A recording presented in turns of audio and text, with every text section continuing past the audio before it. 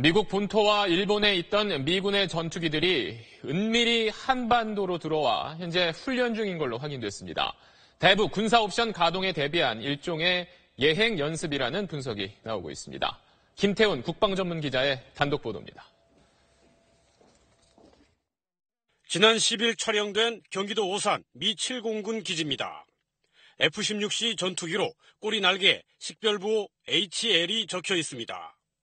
미국 유타주 힐 공군기지 소속이란 뜻입니다.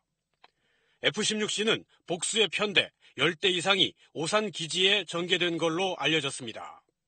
같은 날 FA-18 전투기들도 포착됐는데 주일 미 해병대 이와쿠니 기지 소속입니다.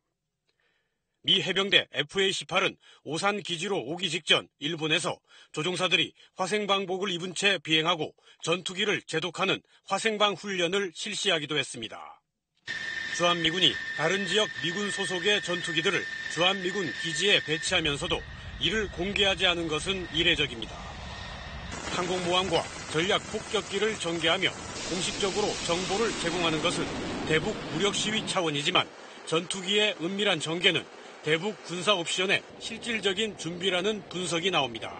미국 군 수뇌부가 트럼프 대통령에게 다양한 대북 옵션을 보고하면서 실질적인 점검이 이루어지고 있습니다. 이번 전투기의 은밀한 전개는 다양한 대북 옵션을 예행 연습하는 것으로 볼 수 있습니다. 전략 폭격기와 ICBM을 운용하는 미 공군 지구권 타격사령부 로빈 랜드 사령관의 이달 초 군산 미 공군 기지 방문도 대북 군사 옵션 점검 차원이라는 관측이 나오고 있습니다. SBS 김태훈입니다.